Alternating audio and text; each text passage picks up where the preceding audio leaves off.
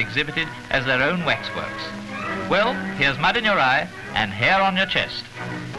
Running second and third in a field of seven crack milers at New York are Gene Fenske and Glenn Cunningham, two old rivals.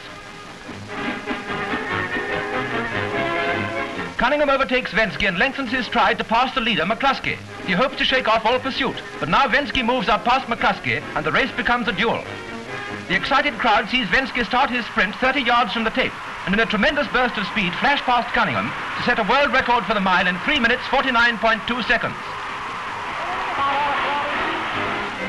15 of America's best horses start in the world's richest race at Santa Anita.